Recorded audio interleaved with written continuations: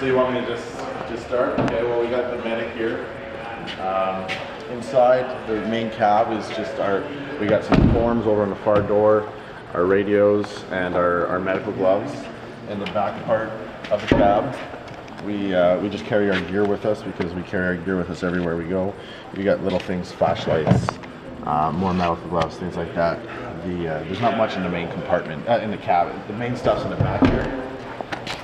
So, in the back of the medic truck, this, this the whole thing slides out.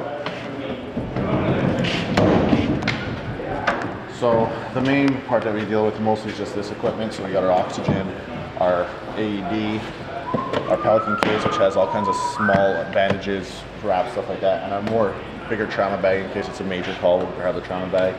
You got your gloves, you got your cleaning solutions, waste disposal units. Back here we have um, we have one of our spare masks in case um, in case it's ever needed. It's always good to carry some spare masks. We got our personal flotation device, our decontamination kits, a blanket in case there's someone who's cold, a whole bunch of bottles of saline solution for wash out wounds, some uh, some shampoo for uh, for someone who may have uh, tear gas in their eyes.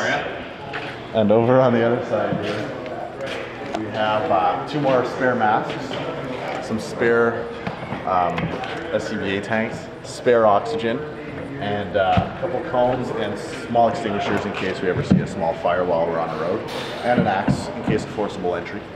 And that's basically it. Uh, you know, the, the medic truck is designed strictly for, for medical calls, so that's why don't, we don't carry any kind of firefighting stuff. We don't have a pump on it. There's nothing like that. That's strictly the engine that will take care of that kind of stuff. All right.